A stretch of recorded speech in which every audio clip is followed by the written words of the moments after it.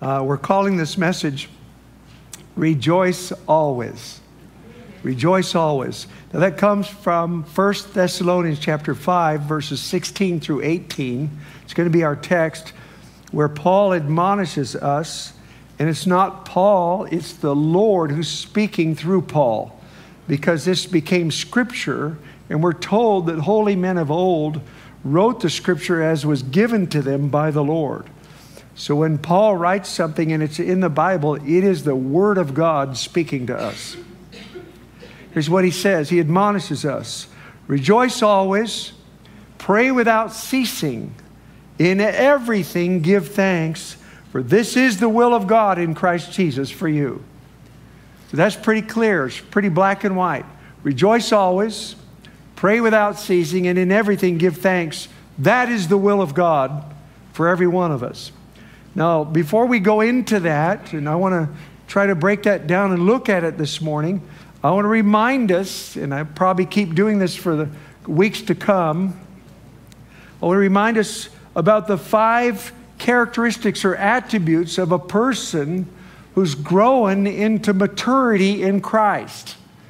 And the reason why we're naming these attributes and talking about them is not to make anyone feel like, oh my, I think I fall short. That's not the purpose. The purpose is to give us a map of where we're going give us a picture of where God is going to take us. We agree with that? Amen. So when we talk about abiding, unbroken, abiding in love, don't say, oh, I'm not there yet. Say this God's taking me there. Amen. See, that's God's will for us. All through the Bible, and again, I'm not going to go through it, but all through the Bible in the New Testament, the goal of our faith, of Christianity, is to bring every single believer into the image of Jesus Christ. And yet, sadly, not every believer will be brought into that because it takes our faith and cooperation. And if people don't believe it's possible, they won't go there.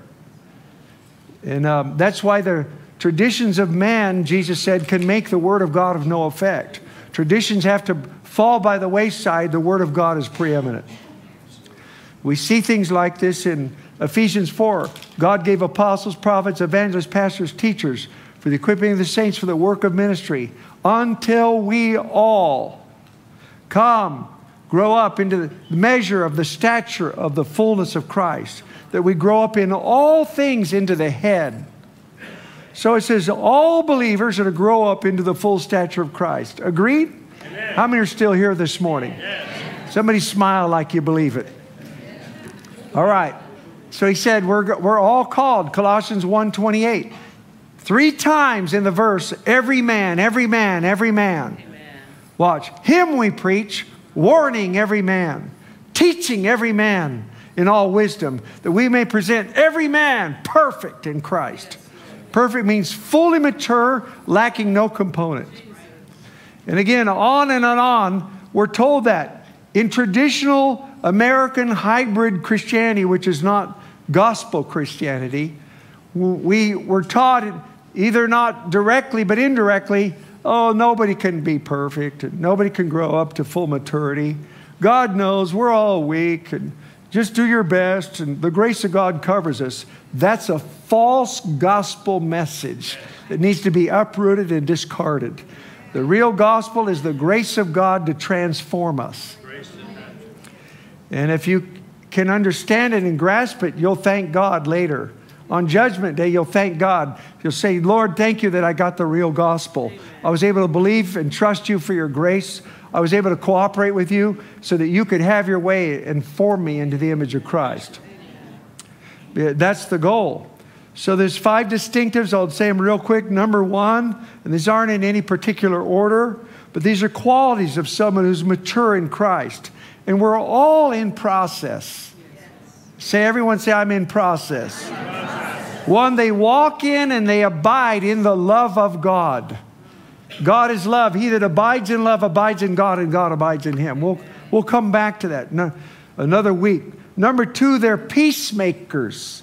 They've learned to be at peace with God and to live in the peace of God and to pursue peace. They've learned that the kingdom of God is righteousness and peace and joy in the Holy Spirit. So, the other attribute about someone that's mature in the Spirit is they have the peace of God. Peace. Okay, number three, they've learned to rejoice always, pray without ceasing, and give thanks in all circumstances. It's become a part of their lifestyle. That's what a mature Christian is. Now, we're all in process. So don't say, oh, I'm not there yet. Say, okay, that's awesome. God's going to take me there. He will.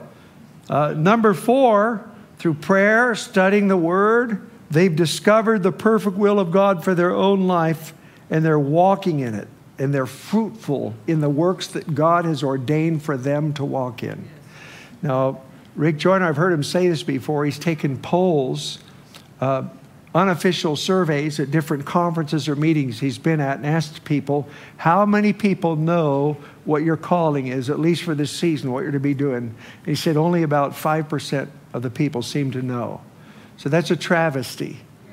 So that means you, it's impossible for people to fulfill their destiny. Now, knowing God's will doesn't mean that you know everything about your life for the next 50 years. It, it may mean that God just shows you for this month or this year or this season in your life, but you do know it. You got your hand to the plow and you're about the Father's business. See, every believer needs to get that down. I've talked about that for the last couple weeks. So, knowing the will of God and doing it. And then, fifthly, the other attribute of someone that's mature, growing into maturity in Christ, is they've learned humility. They've learned that God resists the proud and He gives grace to the humble. And they've learned that the only way to ever become and do what God called us to become and do is by His grace. They've learned it's the only way is by His grace. And therefore, they've learned how to be humble and give God all the glory for everything good because only by grace can we become what we're called to be. Those are five attributes. Now, I'm saying that so that we can be aware of it. Now, when, you when we're aware of these attributes, then we can aim toward it. See, if, I, if I'm not aware that a mature Christian has learned how to rejoice always and has unceasing prayer coming out of their life, and in every circumstance, they've learned how to give thanks. If I'm not aware, oh, that's what maturity is, then I don't know how to go for it. Okay? So that's why we're saying these things. So these are this is the big picture. We need to have the big picture. It's a, we're getting a vision of what we're going to grow into. Now I'm going to say these two verses again to encourage you. And I pray that everyone that hears my voice, that these verses will become so real to you, they'll become part of who you are. Here's one of them 1 Thessalonians 5 23 and 24. I pray that right now your ears can hear the word of God. It says, Now may the God of peace. Now means now. Doesn't mean in the next life, means now. May the God of peace himself sanctify you completely. May your whole spirit, soul, and body. Now, after you're sanctified completely, he said, Your spirit, soul, and body be preserved blameless under the coming of the Lord. Well, in case you have any doubt, the next verse says, Faithful is he that calls you, he also will do it. I want somebody to believe that. I want you to believe that. Because if you don't believe it, you'll faint along the way.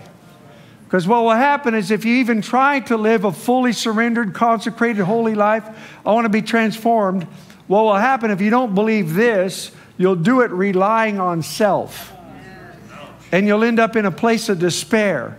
You'll find out this is not working very well. This is why people make up the doctrines of men. They don't have faith, and so they ascribe, they make up another doctrine. It's, that's a lie. He said, Well, I tried and no, you didn't know how to do it by faith. Jesus said, uh, He appeared to Paul, he said, uh, For this reason, to make you a minister of the gospel, to turn people from darkness to light, from the power of Satan to the power of God, that they may receive the forgiveness of sins and an inheritance among those that are sanctified by faith in me. Yes. So we're sanctified by faith. It's by looking, it's by promise, trusting in the. Of course, it takes our cooperation. If I believe, I say, Lord, do it to me, and I start taking steps of faith toward it. But while I'm working toward it, He's working in. He works in both to will and to do. And so if that faith is not there, you say, Well, I can't forgive. I can't have that kind of love. You'll never go there. We have to believe Philippians 4:13. I can do all things through Christ who strengthens me. I can forgive. I can turn the other cheek. I can go the second mile. I can learn how to pray. I can be filled with the Holy Spirit. I can live in peace. I can walk in the Spirit. I can overcome anger. I can overcome lust. I can overcome selfish ambition. I can die to self. I can abide in Christ. I can do all things through Christ who lives in me. So you have to believe that. You have to get this verse down in your heart. The other verse is Hebrews 13, verse 20 and 21. Now may the God of peace who brought up our Lord Jesus from the dead, that great shepherd of the sheep, through the blood of the everlasting covenant, may he make you perfect in every good work, working in you what's well pleasing in his sight, to do his will. He does it through Jesus Christ, to whom be glory forever and ever. Amen. So God is now saying in the book of Hebrews, I will be the one that makes you perfect. I'll make you complete and whole in every good work. Now, every good work God calls you to is different than the ones He calls me to. But God has books, he, books written about your life. Ephesians 2:10, you are His workmanship, created for good works that He's foreordained. So don't worry about what anybody else is doing. Just find out what God has for you to do and do it. Because on Judgment Day, God's not going to open up Reinhard Bonnke's book and then and say, hey, you didn't do what he did. He's, he preached to more, that's not my calling. He's going to open up my book. And he's going to compare my walk with what he wrote about me. He's going to do the same for you. Yes. So, God's going to make you perfect in the works that he's ordained for you. And you're the perfect person to do those works. Yes, you are. You are the perfect man or the woman for the job. You're perfect. Isn't that amazing? Uh, God, your personality, your background, your experience, your calling, your anointing, your gifting, you're perfect for what God made you to do. And God is infinitely multidimensional, and He's going to glorify His Son through His body, and He's going to manifest His glory and beauty in infinitely multidimensional ways through all the members of His body. And you're one of them. Come on. So, so those, that's so you need to have that right up front. When we talk about this, don't, if you catch yourself going, I'm so far from that, cast those thoughts down and say, I've read the foundational doctrines manual. I'm a new creation. I can do all things through Christ. I'm his workmanship. He's going to sanctify me completely. Come on, somebody believe. So now let's go back. One of these, now where did I get this? I got it from studying the life of John Wesley. He's talked about, he brought sanctification by faith and growing up to full maturity was a, his life message that he brought into the church. And I think it needs to be recovered today. It needs to be recovered. It was recovered in his day, but we lost it since then. And um, so he noticed in his own life and in those who were mature around him that this, he said, this is a quality of people the ones that are abiding in Christ have this quality about them. They're rejoicing always. Prayer never stops. Now, that doesn't mean you're vocally praying, it means your heart is always to the Lord. You're giving, there's a combination of thanks and songs and tongues and hymns and intercessions, groanings, uh, silently, just silent, communion, worship, adoration, supplication but your heart, even when you're occupied and you have to do things, your heart is always toward the Lord. Your heart is always is where your treasure is. So the people that have, by the grace of God, are growing into maturity, this is a quality about them. They're rejoicing always. Prayer is just nonstop. You know, I was thinking about it early this morning as I'm meditating on this prayer. I, I just had this picture in my mind. Now, when I was a kid, we had a, a pet cat. And uh, I'm not that, that great about cats. If you have a cat, God bless everybody that has a cat. But we, we had a cat. I liked, I liked the cat we had. It was lived a long time. We had this cat for a long time. But there was something about the cat. Whenever I'd petted it, I don't know if it did all the time, but it seemed like when I got close, I could always hear that, that like all the time. There's just. And that's how it is when you're walking with the Lord. You may not be vocal, you may not be shouting, but it's just it's always going. How many know what I'm talking about? And, and so that's the believer.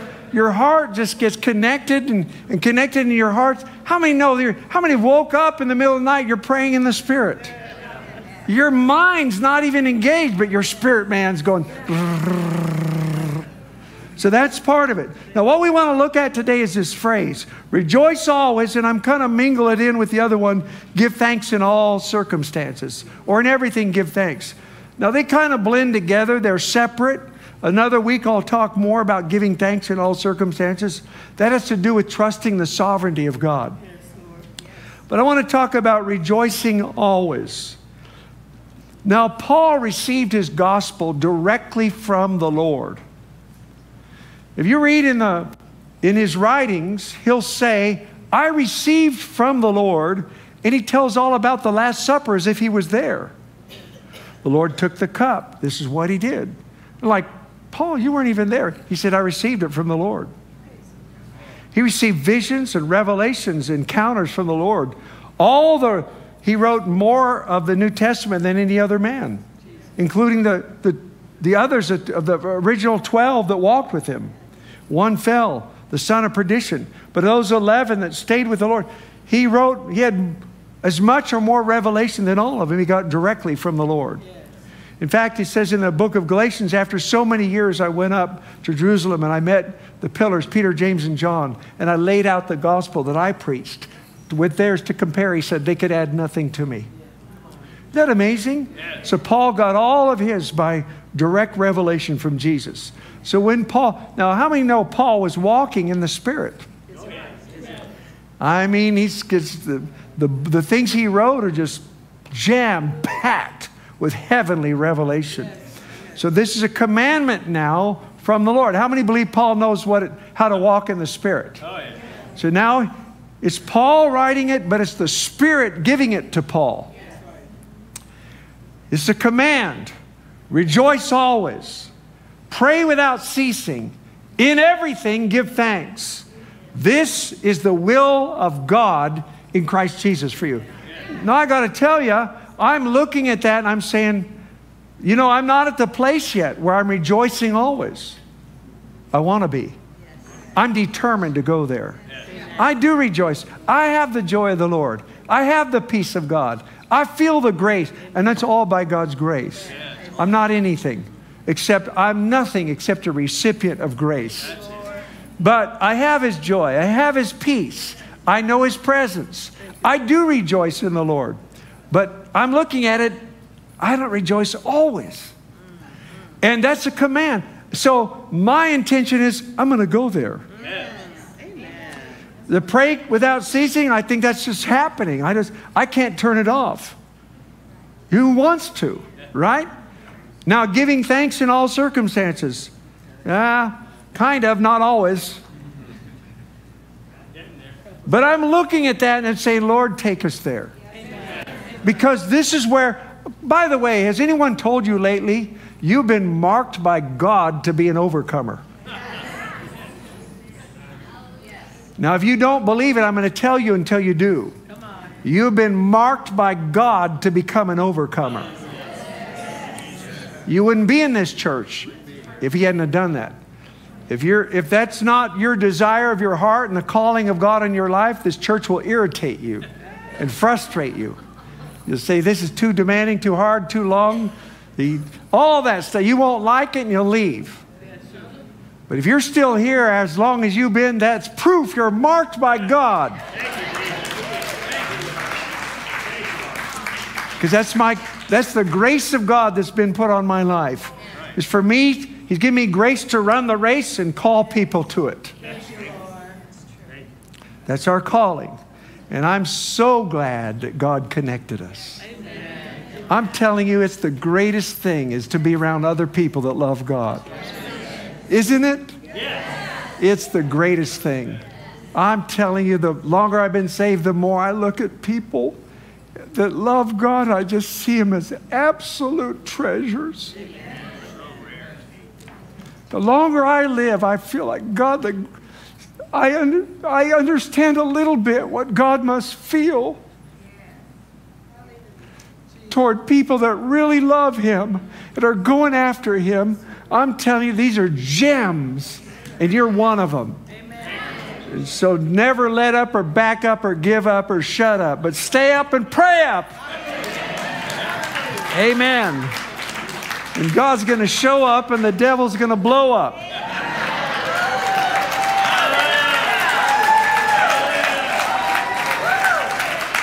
And then only after that we're going to go up. now rejoice always, pray without ceasing, give thanks in all circumstances. How many want to go there? How many, how many would pray? Let's pray it right now. How many would say, Lord, I want you to work that in me? I want to become a person who's learned how to rejoice all the time. I want to become a person whose prayer never turns off. I want to become a person that's learned how to give you thanks in every circumstance. Lord, we want to grow up into the head. We want to grow up in all things in Christ. Take us there. Now, here's a question How can someone rejoice always? Number one, make the decision I want to be that person. Now, it's part of pursuing love. 1 Corinthians chapter 14, verse 1, we're commanded, pursue love. Meaning the Holy Spirit's in us, His love is in our heart, but He's saying, pursue growing in love. Grow in love for God, love for people. Pursue it. If we're going to be on the road to maturity, we're always going to pursue more love. Now that means loving God. What is loving God? 1 John 5 3 says, This is the love of God to keep his commandments. So, in our pursuit of loving God, one of his commandments is rejoice always, pray without ceasing, and give thanks all the time. So, because we love God, we want to keep his word. So, say, Lord, do it to me. I want to become the man or the woman you called me to be. So, number one, make the, that decision. Number two, study the Bible. Learn about rejoicing. Learn about, learn from others that are ahead of us. Then, number three, start applying what we're learning. And number four, keep practicing until you're good at it. And that's how we're going to become overcomers. All with our confidence in the grace of God. So now the word, the, the word rejoice, simple definition, it means to be glad or exceedingly glad. Now, most of us can't just tell our emotions what to do. Right? Yes. Emotions can come and go, but we can tell our will what to do. So when God commands rejoice, He's not saying, I command you to feel. He said, I'm commanding you to choose. There's a big difference. And so we understand, so that's the first thing. So let's read Philippians 4, verse 4. We're going to get some insights into how we're going to grow into this. Rejoice in the Lord always. Again, I say rejoice. By the way, Paul wrote this while he was in prison. He's in prison behind bars, and he's, he's so full of joy and rejoicing, he's writing letters to encourage the, the saints outside that aren't in prison. See, we do the opposite. We're outside, we say, we better go to jail and encourage them. He's in jail encouraging others because he has the joy of the Lord. And then he says, Let your gentleness be made known to all. The Lord's at hand. Now, the word gentleness in uh, King James is moderate, moderation. What it means is even temperedness. Even temperedness. don't fly off and get angry. Some people, we, we're, we're up and then we're down. Things are going our way. Hey, things turn around. We're, we're down in the down. He said, don't do that. Be even tempered. So some translate it gentle, some say moderation, but I think that's the best description of it. Be that way. Now he's going to tell us how to get the peace of God and put our mind where it's supposed. This is all connected to. He just said, "Rejoice always." So he's going to give us a clue how to do it. Uh, in the Philippians 4, it says, Be anxious for nothing, but in everything by prayer and supplication, with thanksgiving, let your requests be made known to God. The peace of God that which passes, surpasses all understanding will guard your hearts and your minds in Christ Jesus. So, we've talked about this before. If we're going to rejoice always, one of the first things we have to do is be sensitive to what's going on in our heart. One of the ways that we rejoice, everyone look at me for a moment. How do we do it? Be anxious for nothing. You can't be anxious and rejoice at the same time. Now, a lot of us, I think all of us are good at this, but we need to undo it. I think uh, we've learned, maybe subconsciously, to carry stress and anxiety and not even really be that aware of it and uh, we just carry it. And when we do that, our heart is encumbered and we're not able to do what we're supposed to do. There's a reason he said, rejoice always. We're going to find out more as we go into the message. It keeps us in the spirit. So the first thing is we have to become aware of what's going on in our heart. Are you stressed? Are you carrying stress? Are you, are you anxious about? Is it relationship tension? Is it finances? Is it health? Is it all of those? Is it perfect? If it is, don't carry it around. You're not going to rejoice.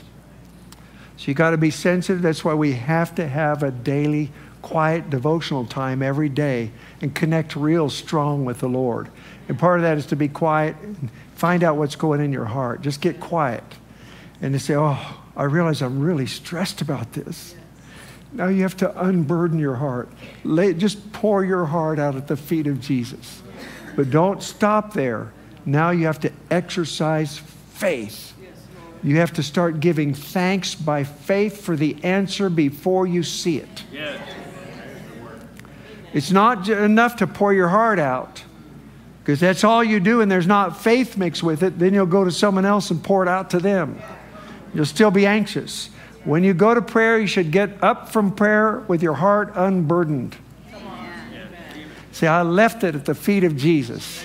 You have to use faith. You say, I'm thanking God for the answer. I can't see the answer, but God's faithful. So that's very important. Listen, what we're in, we're in school right now because you're being made into an overcomer. To carry the glory in the last days. Yes to have peace when people around you don't. There's an old poem, I, did I mention this by Rudyard Kipling called If? We had to memorize it in eighth grade. Anybody memorize that poem? If you can keep your head when those about you are losing theirs and blaming it on you. And it goes on, if you, if you, if, if, if, if. At the end it says, then my son, you'll be a man. You know, and think of that. If you can keep your head when those about you are losing theirs and blaming it on you, we have to walk in the peace of God if we're going to rejoice all the time. So that's the first thing. Then he says, think about. Now, this has to do with rejoicing. Finally, brethren, whatever things are true, whatever things are noble, whatever things are just, whatever things are pure, whatever things are lovely, whatever things are of good report, if there's any virtue, if there's anything praiseworthy, Meditate on these things. Meditate means hold it in your heart, think about it, turn it over in your mind, ponder it. The things which you learned and received and heard and saw in me, do, and the God of peace will be with you. So, this is his. Now, before he said all this, he said, rejoice. So, what he's telling us is how to get our heart in a place where we can rejoice.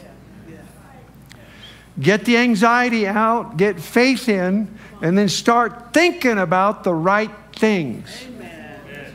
Come on. Now, whatever's true, lovely, noble, virtuous, of good report. We all have choices all day long what we're going to think about, and we have to become aware of what's going through our mind. Yes. It's by, in Romans uh, chapter 8, it says, The man who walks carnally has his mind on carnal things.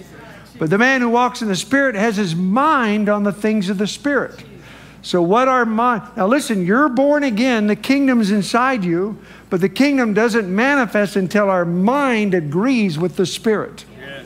When our thought life agrees with the thoughts of the Lord, then we're what we can walk. That's what it says. They that walk in the Spirit have their mind there. So Paul said, think about the right things. Yes. So that means when you get home after a long day, and Melinda and I do this, I like to watch Sid Roth. I like to watch, if depending on how tired I am, they have the short ones, the supernatural stories. They're 10 or 12 minutes. Then they have the 28 minute ones. I like to go through those and hear those. I get edified. Makes me think about the right things. I get built up. I, I'm start having a hallelujah shout right in my living room. I do. Oh, glory to God. Praise the Lord. That's awesome. Or you can watch AGT, America's Got Talent, or you can watch. That's what everybody calls it, right? And it's, it's hit and miss. There might be a Christian on there singing, and they do sometimes. But then you get some ones and they're, they're dressed like they just came from a stripper bar, and they're foul, and it pollutes your spirit. Turn it off.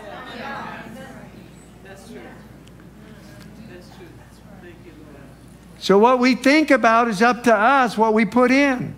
I do watch the news, but I watch it very little. I mean, just quickly. I'll just watch, seriously, not, not more than usually five minutes.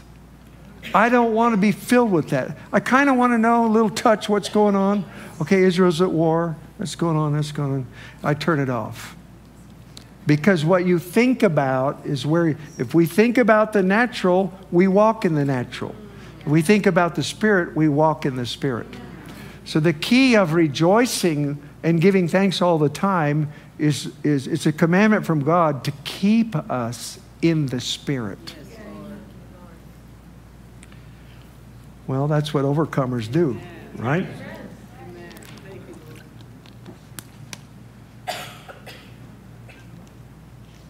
Now, another key to rejoicing, I've touched on this before, is um, is keep growing in the love walk because joy is a byproduct of walking in love. So if we allow anything in our heart that's not the love of God, it quenches the joy of the Holy Spirit. Now, my understanding of, of the joy of the Lord is, is the Lord inside you is joyful. And you feel His joy. It's the joy of the Lord. When I feel the joy, it's not my joy, it's the joy of the Spirit. So when we're doing what we ought to, when we're forgiving and loving, and we're walking in love, we're pursuing that, the Holy Spirit will be inside you smiling. And you'll feel His joy. And His joy is your strength. So we have to be sensitive to Him. Wherever you go, you're taking Him. Whatever you talk about, you're making Him listen to it. Whatever you look at, you're making Him look at. So live in such a way to keep Him joyful. And the way that we do that is we love one another. Jesus said in John 15, verse uh, 9, As my Father loved me, I've also loved you. Abide or remain in my love. How, Lord? I'm glad you asked. If you keep my commandments, you'll remain in my love, just as I've kept my Father's commandments and I remain in his love. Then he says, These things I've spoken to you, that my joy may remain in you, and your joy may be full. So now we look at a couple things. If I'm going to rejoice always, first I got to make up my mind that's where I want to go. I got to get a vision of it, and I got to start taking steps toward it. Lord, make me that man, make me that woman that rejoices all the time. then I understand I can't have a burdened heart.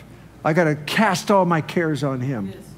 And then I, have understand, I need to just keep growing in love because he said, if I'll stay, keep his commandments, which is to love one another, if I keep growing in the love walk, his joy will remain in me. And his joy, our joy will be full. Now, the, the rejoicing believer that's walking in faith is the overcomer.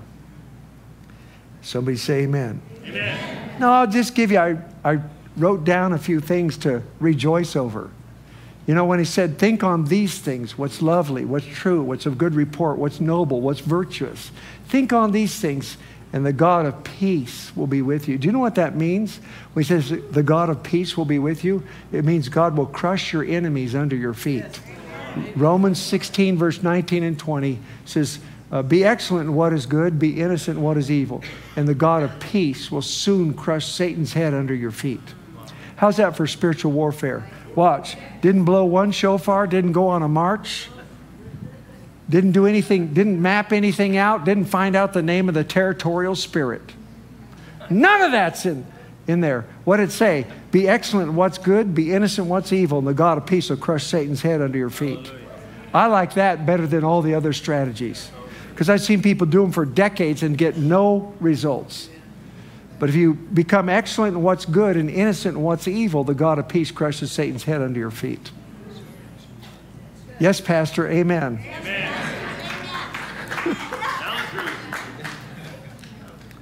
All right, here's some things to thank God for. Are you ready? Yes. Where am I? There. Number one, our sins are washed away by the blood of Jesus. Because Christ is in us, we have the gift of eternal life. We're, oh, that's too quiet. You, you have to practice rejoicing in this. I'm sorry, you got to stir up your mind. And, and, I, and we are new creations in Christ. Old things are passed away.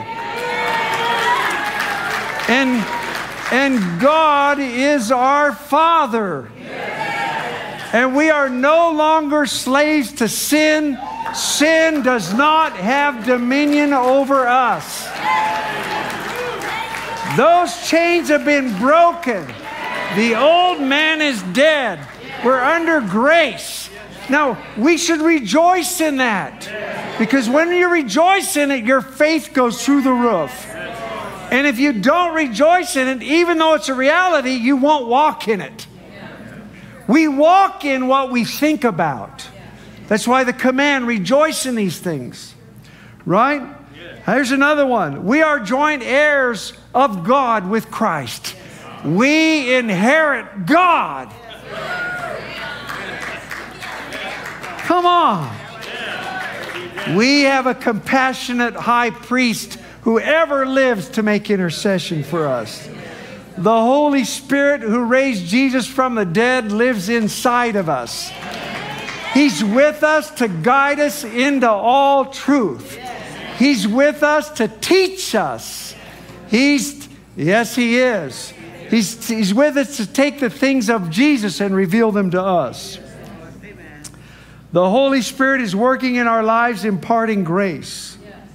He's inspiring us motivating us, instructing us, imparting to us, and empowering us to become and to do all that God called us to become and do. That's a reality. That's a reality. You are His workmanship. How's that for a praise? Everyone say, I am His workmanship. He's the potter. That's what God told Jeremiah. I believe it's in chapter 18 uh, I don't know, verse 9 or something. He said, Just as the clay is in the hands of the potter, so are you in my hands, says the Lord. Come on.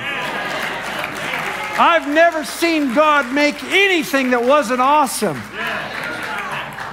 You're in His hands, you're His workmanship. We have access to the throne of grace 24 7. Whenever we pray anything according to Scripture or according to His will, He hears us. And we have it. Nothing can separate us from the love of God in Christ Jesus. And God is causing all things, listen, the things we don't understand, the things that make us cry, the things that break our heart, the things we can't figure out. God's using all of it for our good. Why? Because this light of, somebody needs to hear this, this light affliction, which is but for a moment, is working for us an exceedingly great and eternal weight of glory while we look not at the things that are seen, for they're temporary, but we look by faith at the things that are unseen. That's something to rejoice about. We should rejoice over 1 Peter 5:10. Now may the God of grace who called us to his eternal glory after you've suffered a while, he's going to perfect, strengthen, establish and settle you. We should rejoice in that. Are you going through suffering? I'll come stand with you. But and I know what it's like to have pain. I know what it's like to have tears roll down your cheek. I know what it's like to say, God, I don't understand. But I also know what it's like to come out of the other side of the fire and look back and say, God, you worked it all for good. And he said, I'll never leave you, I'll never forsake you. Hebrews 13, verse 5 and 6, so that we can say boldly, The Lord is my helper. I will not fear. What can man do to me? You see why we need to rejoice always? We need to get these things down, meditate. Paul said, meditate on these things, think about them, rejoice about them, pray about them. Here's another good one. All the good works you've ever done that no one's seen, no one's acknowledged, it's all been recorded.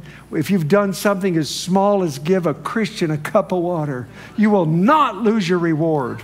Right. Come on! That's awesome. Here's another one to rejoice over. God says, My thoughts toward you are more than the sands of the sea. Amen.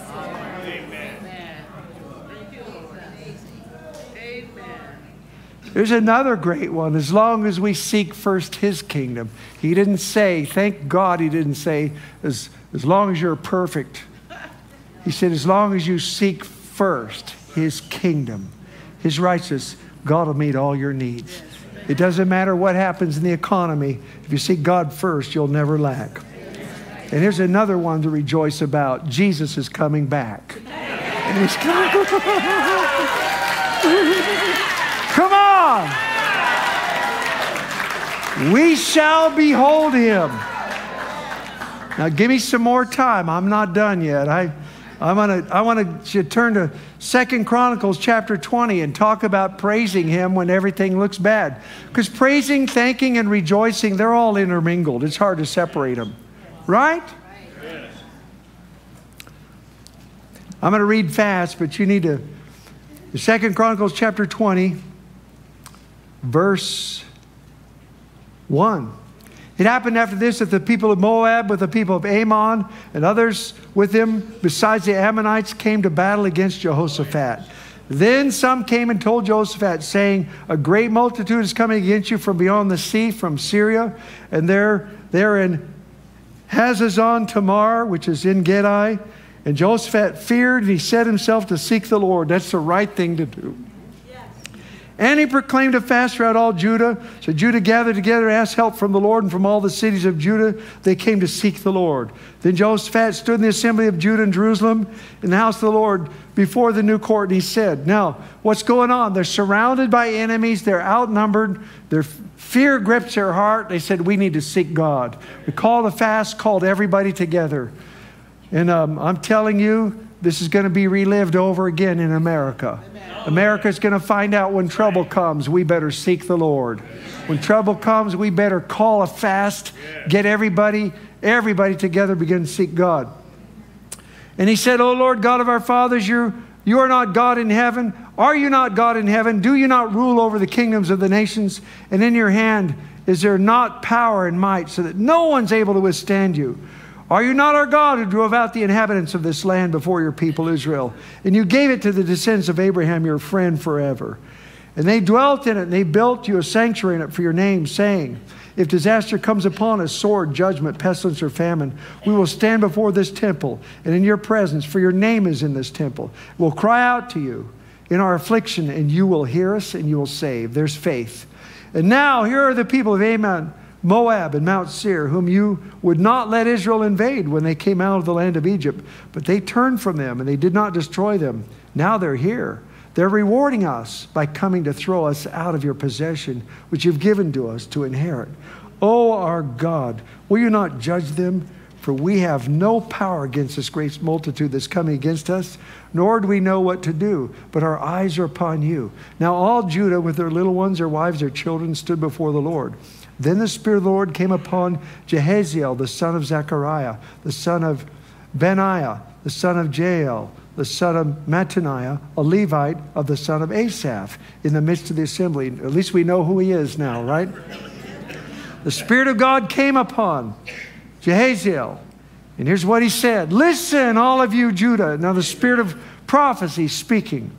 And the inhabitants of Jerusalem, you, King Jehoshaphat, thus says the Lord to you Do not be afraid nor be dismayed because of this great multitude, for the battle is not yours, but it's God's. Tomorrow go down against them. They will surely come up by the ascent of Ziz. You will find them at the end of the brook, before the wilderness of Jeruel. You will not need to fight in this battle. Position yourselves, stand still, and see the salvation of the Lord is with you. O Judah and Jerusalem, do not fear or be dismayed. Tomorrow, go out against them, for the Lord is with you. And Jehoshaphat bowed his head with his face to the ground, and all Judah and the inhabitants of Jerusalem bowed before the Lord, worshiping the Lord. Then the Levites of the children of the Kohathites and of the children of the Korahites stood up to praise the Lord God of Israel with voices loud and high. So they believed the prophecy. You see, nothing changed in the natural, but the word of the Lord came and they believed it. When they believed the word, they began to praise God. So they rose early in the morning, went out in the wilderness of Tekoa, and as they went out, Jehoshaphat stood and said, Hear me, O Judah, you inhabitants of Jerusalem. Believe in the Lord your God, you shall be established. Believe his prophets, and you shall prosper. That's still true today. Don't believe everybody who says they're a prophet on the internet. Don't believe everybody who says, but when you've got seasoned uh, people with a track record that we know are really of the Lord, and you get two or three or four of them confirming the word of the Lord, believe it. Amen. God gives prophecy for a reason so that we'll believe it and act on it. Don't be such a skeptic. You can use discernment. There's false ones out there. There's people that they're wannabes. There's people that prophesy out of their imagination, but it's not hard to find the real ones. And when you find the real ones, believe them. And when he'd consulted with the people, he appointed those who should sing to the Lord, who should praise the beauty of holiness. So they went out before the army and they were saying, Now here's the direction God gave Jehoshaphat. He appointed, I love this, those who should sing to the Lord, who should praise the beauty of holiness, now, to me, I'm not making a big distinction between rejoicing and giving thanks and singing and praising. To me, it's all intermingled to there. He said they should go out before the army, and here's what they were saying Praise the Lord, for his mercy endures forever. I'm telling you, that's faith. I mean, they're still surrounded. All they had was a one prophet that stood up and prophesied. I'm with you. Don't have to fight. I'll give you victory. Go out there. They were so sure of it, they said, put the singers out first. Let's start just praising God for the victory right now. Thank you, Jesus. So they start praising God for the victory before they saw it. Now, watch this. Please hear this. This is so important. Why does Paul, who walked with God as close as anybody, command us under the direction of the Holy Spirit I want my people to rejoice always, pray without ceasing, and give thanks in all circumstances. Why would he say that? Because he wants us to walk in victory. This, this is a prophecy that came this morning. God said, breakthrough, breakthrough, break. This is it right here. Yeah. This message. Yeah. We have to apply it. We have to start thanking God and praising God when we don't see the answer. Right. I'm telling you the truth right now. Without faith, it's impossible to please God. God will love you. If you don't have faith, He'll love you. He'll always love you. But you can't please Him without faith. Now, watch this. Next verse. When they began to sing and to praise, the Lord set ambushes against the people of Ammon, Moab, and Mount Seir who'd come up against Judah, and they were defeated. Watch. God said, You don't have to fight. I want you to praise me. I want you to rejoice always and give thanks. They started praising the beauty of holiness. While they're praising, God said, Great, I'll take care of them. He set ambushments. Watch what happened. For the people of Ammon and Moab stood up against the inhabitants of Mount Seir to utterly kill and destroy them. So he made them turn against each other and fight each other. And when they'd made an end of the inhabitants of Seir, then they helped to destroy each other. There's three groups. Two groups came against one, destroyed them. Then the two turned against each other, destroyed each other. And all they're doing is, Hallelujah, Hallelujah. Praise the beauty of holiness. Now it gets better. So when Judah came to the place overlooking the wilderness, they looked toward the multitude, and there were all their dead bodies fallen on the earth, and no one had escaped. That's a pretty good victory. It gets better. When Jehoshaphat and his people came to take away the spoil, they found among them an abundance of valuables on the dead bodies and precious jewelry, which they stripped off for themselves, more than they could carry away. And they were three days gathering. How would you like to spend three days gathering gold and, and silver? And then you go, I can't carry anymore. Says, How was your day today? Oh, it was great. The enemy's defeated, and I got more gold than I can carry. How did it happen? Well, we just decide to praise God anyway. We decide to give God the glory when everything looked horrible. Then they returned every man to Judah, and um, Joseph in front of them. They went back to Jerusalem with joy, for the Lord had made them rejoice over their enemies. They came back with string instruments and harps and trumpets to the house of the Lord. The fear of God was on all the kingdoms of those around Israel when they heard what the Lord had fought against their enemies of Israel. So, so God gave them the joy, but they first had to praise Him when there was no sign in the natural. Now, let me read a couple of verses. I want to give you a testimony. Listen to what happened. There's something supernatural that happens when we rejoice always, give thanks in all circumstances, when the natural doesn't look good. Jesus did it. He's teaching, he went out into the wilderness for three days. So a multitude follows 5,000 men. Now, one of the gospel accounts said that's just the men, not counting women and children. There could have been 10 to 20,000 people. And they've now been with him three days in the wilderness. There's no food. And they, he, the disciples said, Send them away. Jesus said, If I send them away, they'll faint. They haven't eaten for three days. You just tell me how anointed that teaching was. When people follow him into the desert without eating for three days, to, to hang on every word that came out of his mouth. He said, They'll faint if we send them away. Now, here's what he did. Well, we just, what do you have? He knew what he was going to do. We said, have a lad's lunch, just a few fish and loaves. Here's what he did. He said he lifted up. Now here's what we would have probably done. Maybe not you, because you're, but some people might have said, God, I can't believe it. You led me to come out here. You told me to come out in the desert. You told me to do this. I've done it. And now there's no food and they're all going to faint. Why, why did you do that? See, that's unbelief. Jesus is our example of what a man or a woman of faith looks like. It says he took what he had, he lifted up to heaven, and it says he gave thanks. Thank you, Lord. Thank you for this. You. When we thank God, what we thank God for gets multiplied back to us. Then it multiplied. Now here's a scripture for it. Watch this. Psalm, uh, oh, oh, let me back. I'm getting ahead of myself. I want to read these verses about that.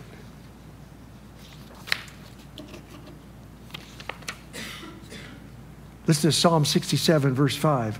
Let the peoples praise you, O God. Let all the peoples praise you.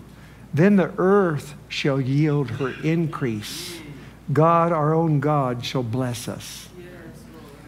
Let the people praise you. Then the earth will give her increase and God will bless us. Here's another one Jeremiah 30, 19. Then out of them shall proceed thanksgiving and the voice of those who make merry. That's rejoicing.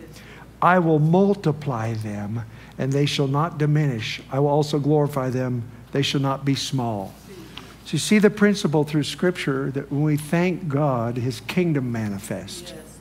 When we rejoice by faith, His kingdom manifests. Things are multiplied back to us. And I've told you this before. Back about a year before I got married, I received a prophetic word. that uh, I was told this, and honestly, I didn't understand. It was God said He's going to strip everything away from your life that you can trust in, and He's going to build in you a supernatural faith. You're not going to be shaken by these trials, but you're going to go from faith to faith and glory to glory. Now, I didn't know exactly what that word meant, but about 90 days later, it all started coming to pass. Everything in my life that could go wrong started going wrong.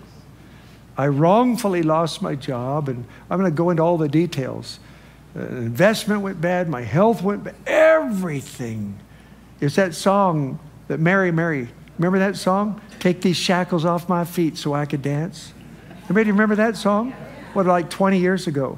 To, there's a verse in there that said, Everything that could go wrong all went wrong at one time. So much pressure fell on me, I thought I was going to lose my mind. But the chorus is, Take these shackles off my feet so I could dance. Amen. So I, I'm telling you, we went through that. And, uh, and God taught us, we taught us how to live by faith, how to give by faith, how to praise Him by faith, how to praise Him when you're in pain, how to praise Him when it doesn't look good, how to uh, praise Him when it looks like everything's going wrong, how to give thanks. And we watched God do miracle after miracle after miracle. And I'm telling you, this breakthrough message that was prophesied this morning, this is what we're going to have to learn to live. Amen.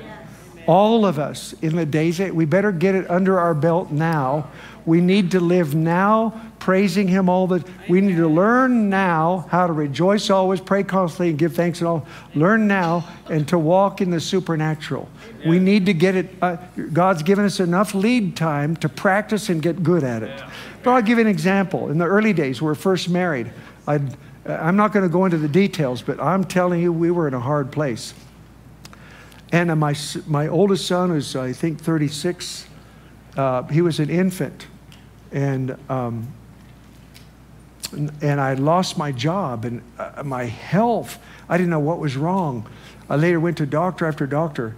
And finances, like, it's like everything dried up. And I remember that word I'm going to teach you to live by faith.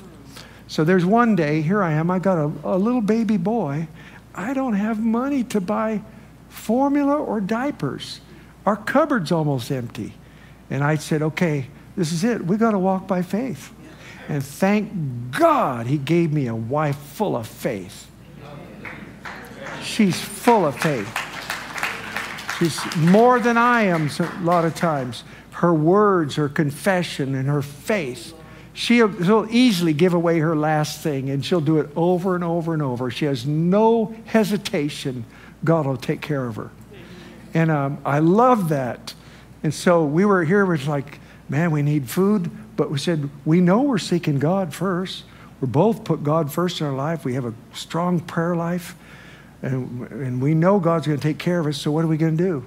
I said, I told my wife, I said, we're going to rejoice. The Bible says, rejoice always, pray without ceasing, and give thanks. Now, one of the words for rejoice in the Old Testament is to spin like a top. So I told my wife, and I'm glad she didn't even she didn't even hesitate. She said, "All right." So we're standing at our apartment this end. You, some of you heard this, some haven't. That God is my witness. We did this. I said, "All right, let's run back and forth through our apartment and let's twirl around." And we're going to start rejoicing like this, and we're going to say, Thank you, Lord. You meet all of our needs. We have no fear. You'll never leave us or forsake us. She, I said, she said, let's do it. So we took hands. The first time we skipped together and we started turning around and praising God, jumping up and down, shouting and saying, Glory to God. Lord, you're such a good God. You've never forsaken us. You always meet our needs. We were running back and forth, twirling around like that. And after a while, after a while, you go like, all right, now it's time for a faith confession. So I told her, I'm going to the grocery store and I'm coming back with groceries. Now I had, the, now I don't know the exact amount, but it's probably about a dollar thirty-two in my pocket. No more than two bucks, if I remember correctly. But we needed about now back then forty dollars worth of groceries to buy about two hundred today. So I remember I said, I'm going to the store because we both knew about speaking by faith. That's why you need to get that book, Sanctify Your Tongue. And um, so we praised God. I said, um, You stay here. I said, I'll come back with formula, diapers, and groceries. I'm coming back. Got in the car, my, drove over to Smith's Food King, got out of the car, got a basket, started down the aisle looking for the baby formula and the diapers. I come around the corner and I bump into Jeannie Ferguson. I knew her husband played guitar in, in, when we did outreaches and stuff. She said, Oh, hi, Jeannie. Hi. She said, I heard Melinda had a baby. I said, Oh, yeah, he's about a month old now. She said, Oh, congratulations. I'm so. She opened up her purse, grabbed a big wad of cash. She goes, Here, get some groceries.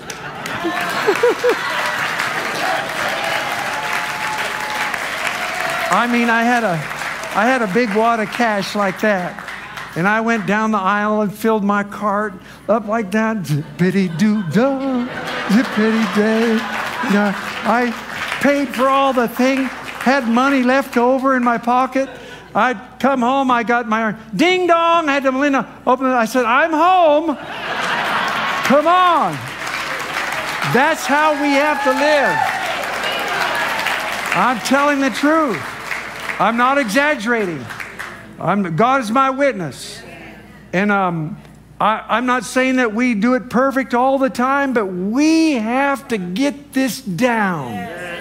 We live, we walk not by sight, we walk by faith. And when, when the transition went from Moses to Joshua, here's what he said Not one good word of his promises has failed. Right.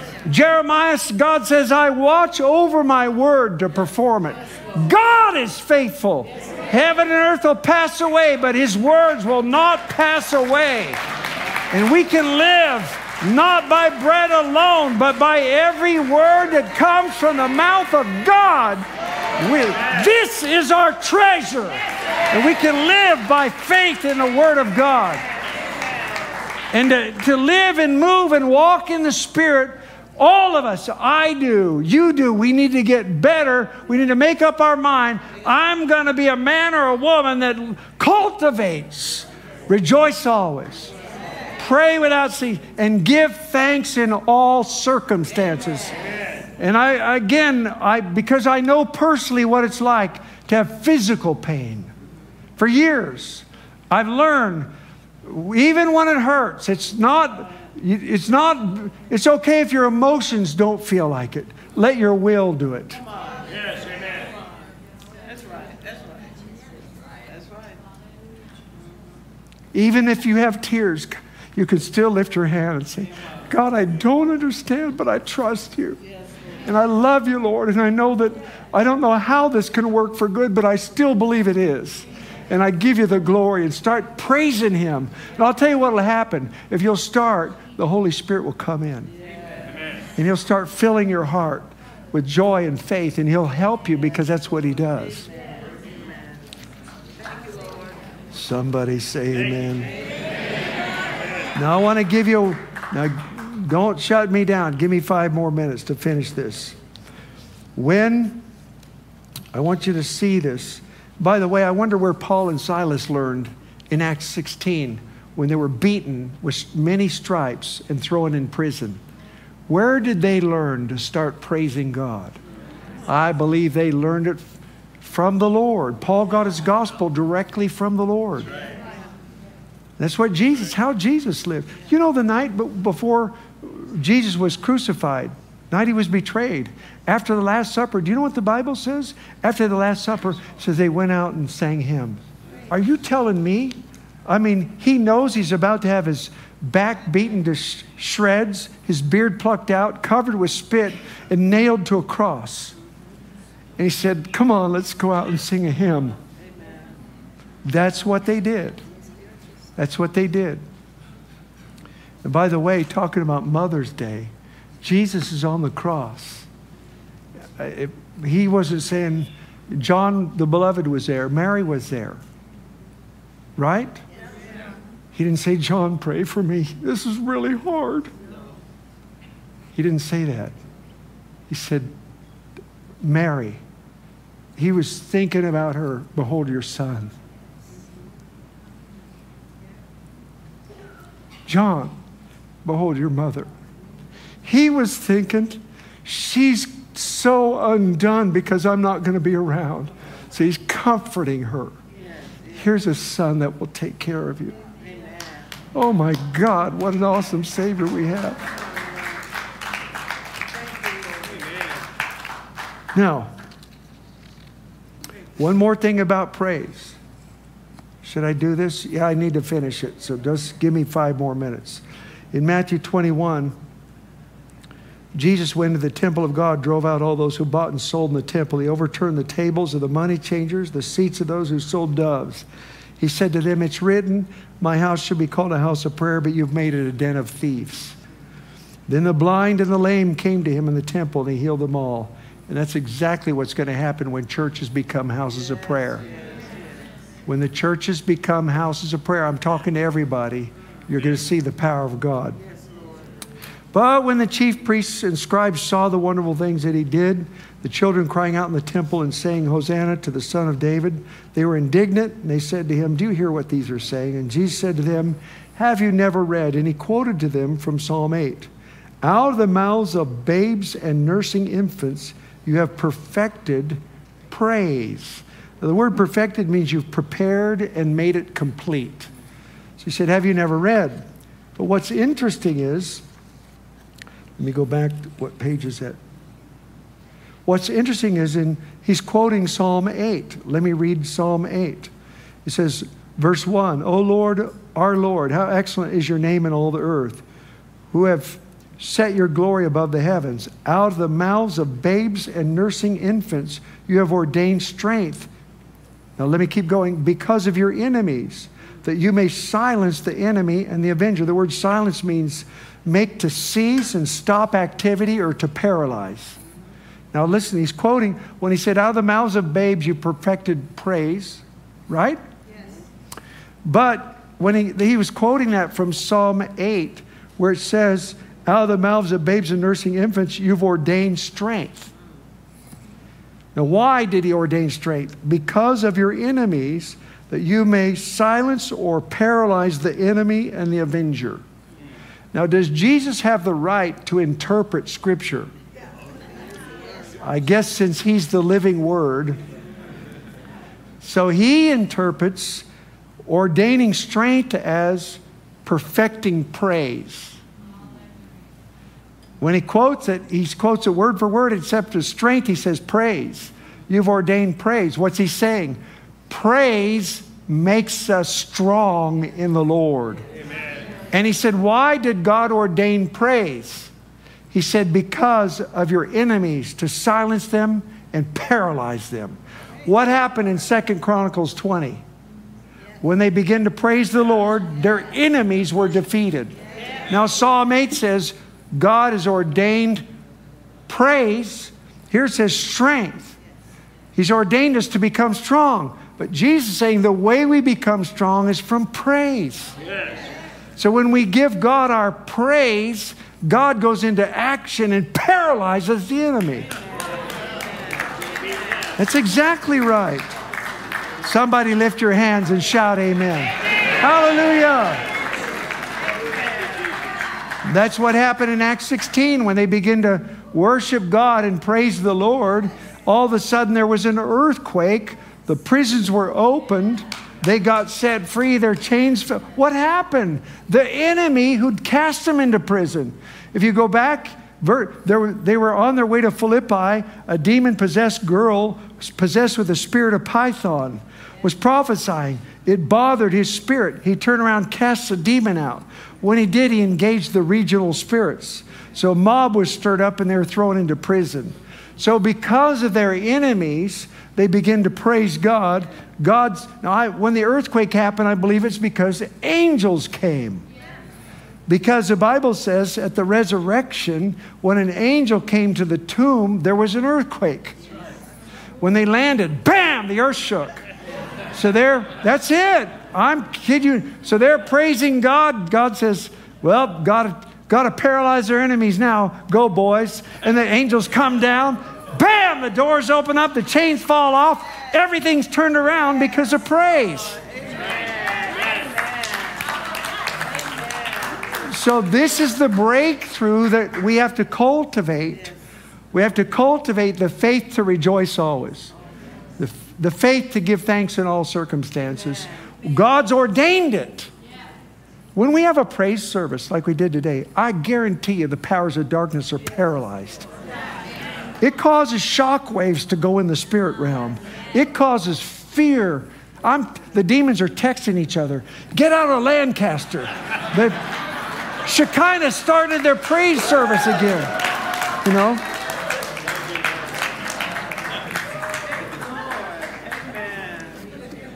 Uh, now listen, you can have it right in your house. Right in your every day. Let's pray. Lord, we're asking you for the grace. Lord, make us those people. Help us to grow into this. Lord, help us to practice it. Remind us, Lord. There's no condemnation if we're not doing it right, but Lord, your grace is with us. Lord, we're in overcomer school. Lord, you're raising up people that are going to learn how to rejoice all the time, praise you in their pain, praise you through difficult circumstances. Lord, make us that people. Lord, help us to see the blessings. Help us to walk by faith. Give us the grace, Lord. Lord, the world needs your presence. They need victory. Lord, make us carriers of your victory. Make us carriers of your victory. We ask it in Jesus' name. If you agree with that, say amen. Come on, let's all give God praise.